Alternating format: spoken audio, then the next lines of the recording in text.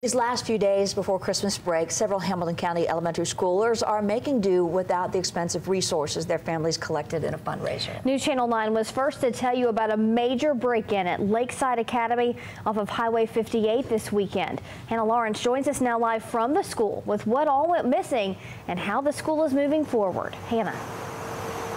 Kim and Latricia, you can see right here that this window is a little bit cleaner than the others. That's because it's brand new. The principal says that thieves took a big screen TV still in the box, and that measured more than 30 inches when we looked it up online without the box. So you can imagine how thieves struggled to get it through this 40 inch window, and that's not all they took.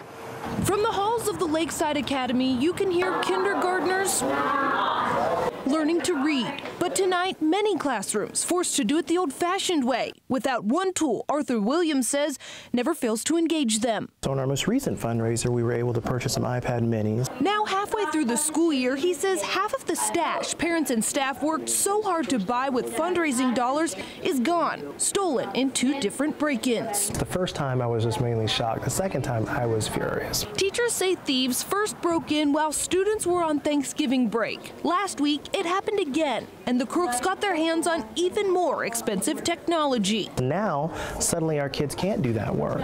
Um, and so now they are having to have their teachers have to scramble to replace patterns and routines and structures that have been in place all school year. I mean, they use it a lot. They use it every day. Every day they are using those iPads. The school's principal, Andrea Johnson, says Friday morning these surveillance cameras captured four people in hoodies walking away with the iPads, a teacher's laptop, and a 60 inch television like this one. Nearly all of it was brand new.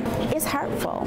It is devastating um, because my students are without, so the people are really stealing from our kids, and, and I have issues with that. Tonight, the three windows she says burglars busted out are fixed. Now nearing Christmas break, the teachers are trying to make sure nothing else goes missing. We're trying to lock up our items, but um, we just need people to stop taking from our kids.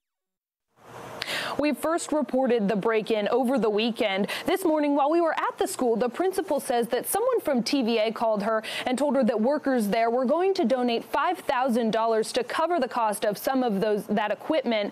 Williams says it won't cover the whole thing, but it's close. Reporting live in Chattanooga, Hannah Lawrence, News Channel 9. Thanks, Hannah. That is good news for sure. Williams says it costs $350 to replace each iPad. Chattanooga police identify the